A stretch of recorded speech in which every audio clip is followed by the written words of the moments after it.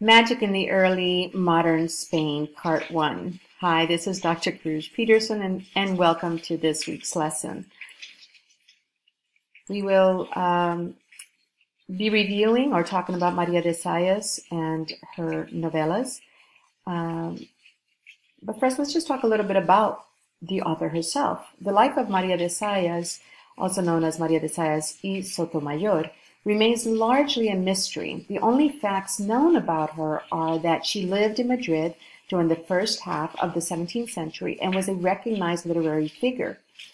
It is believed that she belonged to nobility, but unfortunately the only contemporary references to Zayas pertain to her literary activity. Her works were highly acclaimed by such notable uh, contemporaries such as the prolific playwright Lope de Vega, who praised, and I quote, her rare and unique genius. The first such mention occurs in 1621. There is no further reference to her after the publication of her second volume of novellas in 1647. The dates and places of her birth and death are pretty much unknown to us. So the only physical description of Zayas, which was likely made in jest, comes from Francesc Fontanella, this uh, poem, and I'll read it to you now. Madame Maria de Zayas, she lived with a manly face, with a great skirt she had, what great skirt she had, mustaches spinning high. She resembled a gentleman, but I have just come to discover that she poorly hides a sword underneath the feminine skirt. So there's a lot of play with words. There are a lot of plays with, uh, there's a lot of play with words here with um, the um, manly face and the mustache is spinning high. Uh, even to resemble a gentleman, how is it that we're looking at? In which ways is does she resemble a gentleman? Is it physically or by reason, the man, um, and his skill, his mental skills? Um, also, the playing with the word the sword, and um, and again the feminine skirt.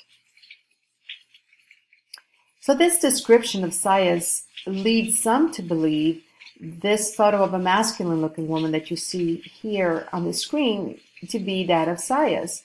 According to Patsy Boyer, the translator of the uh, first volume of books, The Enchantments of Love, uh, and I quote, with so little known about Zayas' life, it is no wonder that scholars have set forth an amazing amount of conjecture about this intriguing woman. Interpreting statements made by characters in the novellas, critics have debated whether Zayas was ugly or beautiful. And this is a photo here that uh, we scholars have not been able to determine uh, who it is, and it was uh, taken at the time that Maria de Zayas lived.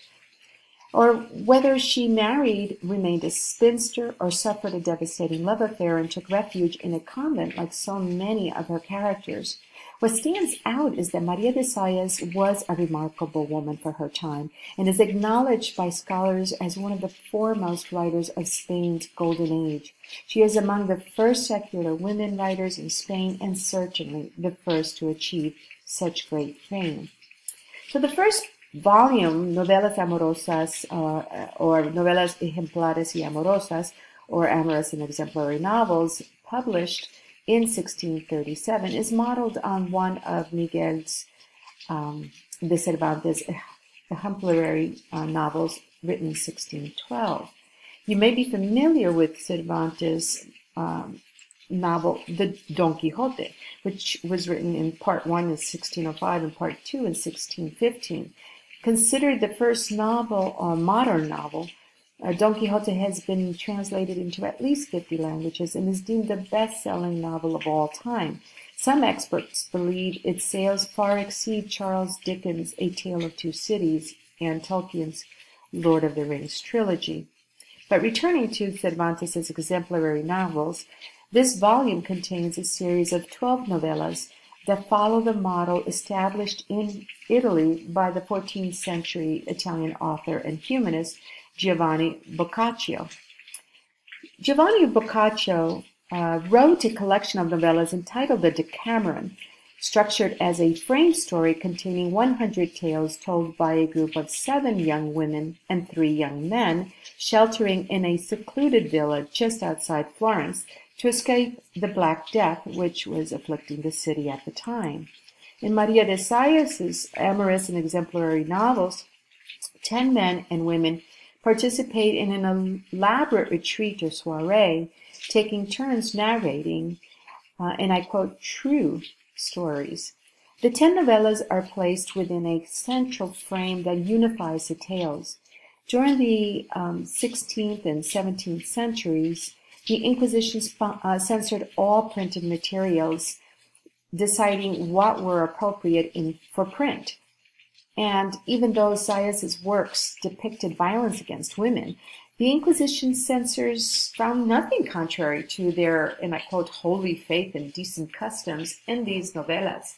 In fact, the priest who approved the publication of her work and also worked as an Inquisition uh, censor applauded Zayas' no- novella, uh, stating, and I quote, I rather see in it a refuge where feminine weakness, assailed by flattering importunities, can take shelter, in a mirror of what man needs in order to direct his actions properly.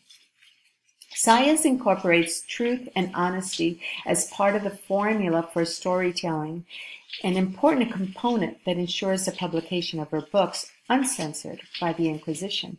In fact, during my research in Seville, Spain, I found her books listed among the readings approved by the Inquisition for shipment to the New World in the late 1600s.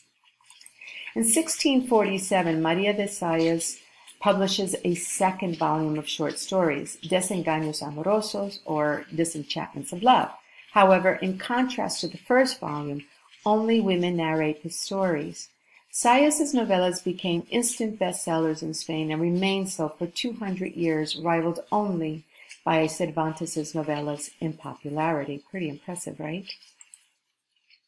Zayas arms the true enchanter with positive attributes. But before we go on, which sorceress best fits Lucrecia from Maria de Zayas' story? Is it the old hag or the younger, more beautiful witch? Actually, this is a trick question, and you would know what I mean um, after you've read the story.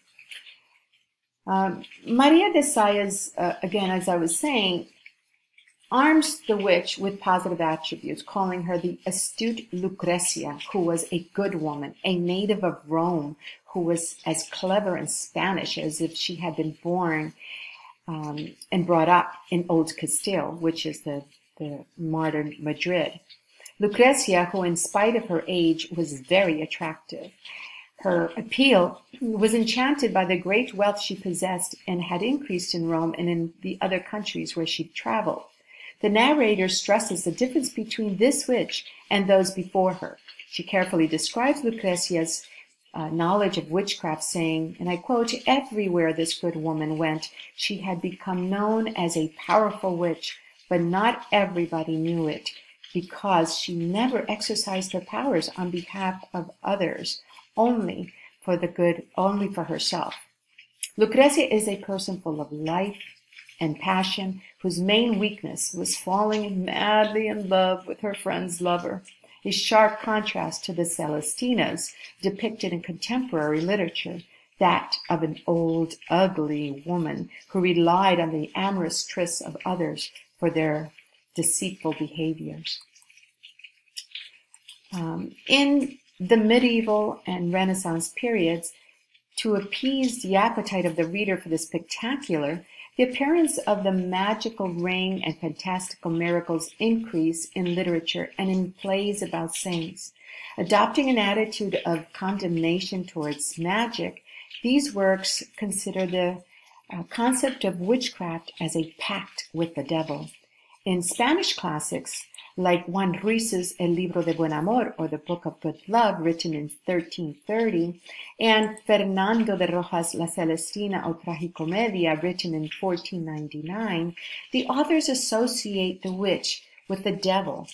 In the Book of Good Love, a fictitious autobiography in which uh, the author recounts his conquests with women, an old woman named Trota Conventos, literally translated to trots between monasteries, often helps him by seemingly hypnotizing her master's lovers by means of a ring with magical powers. By the way, this is a portrait by Picasso, Pablo Picasso, uh, done I think in uh, the early 1900s, 1903 or so, of La Celestina. Um, so they use this uh, this magical ring, right, uh, to hypnotize their lovers, or in La Celestina, a tragicomedia about two lovers, an old prostitute named Celestina manipulates her subjects through magic potions. Both female characters are endowed with black magic uh, powers for the purpose of personal greed or with the intent to harm another. In contrast, Maria de Zayas um, in her novella, Disillusionment of Love and Virtue Rewarded, creates a strong female character who uses supernatural powers of her own free will. Zayas not only shatters the subjugated image of the witch possessed by the devil, but by naming her after the Roman mythological Lucretia, Zayas also subverts the one-dimensional archetype of the virgin mythology, that of a passive and obedient girl or wife, spiritually immaculate and eternally giving. According to Elizabeth Storrs, the author of the Tales of Ancient Rome, women who were second-class citizens in Rome were expected to be chaste if single or faithful if married. Uh, still a, a, a, a belief in the time of Maria de Zayas. And if a woman had an affair, her husband or father was entitled to kill his wife or daughter. They could also kill them if they deemed a woman's honor had been sullied, regardless of whether she was innocent or guilty of the act that may have constituted her, and I quote, corruption. This covered the spectrum from a girl being discovered alone with with a man without a chaperone to the commission of a rape. Once a woman's sexual purity had been compromised, her blood became tainted. According to legend, Lucretia was married to the Roman uh, to a Roman nobleman who boasted that Lucretia was more virtuous than Etruscan wives. So Sextus, the son of the Etruscan king, visited Lucretia to test this claim. Holding a sword to her throat, he demanded that she sleep with him. When she refused, he threatened to kill not only her, but also leave the corpse of a dead, of a naked slave beside her so that her husband and all Rome would think she had committed adultery with a servant. To avoid bringing such shame upon her husband, Lucretia yielded to Sextus.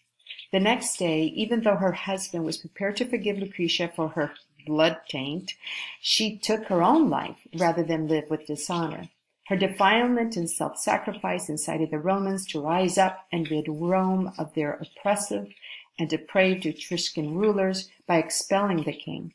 After this, the Romans vowed never again to um, be governed by a monarch, and the Republic of Rome was born.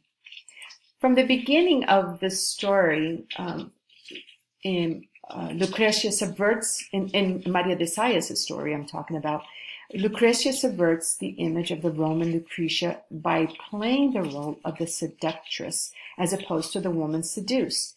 Lucrecia relies on her natural charm to re, uh, seduce Fernando. She writes him a letter in which she declares her affections for him, offering to take care of him in more ways than one. Fernando, being a young man, more inclined toward mischief and vice than toward virtue, could not resist her offer, and the affair begins. This concludes part one of Magic in Early Modern Spain. Please go on, if you have not done so already, and read Disillusionment of Love and Virtue Rewarded by Maria de Zayas, and then watch the video, The Myth of the Spanish Inquisition on YouTube, which will give you some insight about um, the Inquisition at the time by Maria de Zayas. Uh, after you've watched that video, please watch and listen to the second part of this lecture, which is Magic in Early Modern Spain, Part 2. Thank you.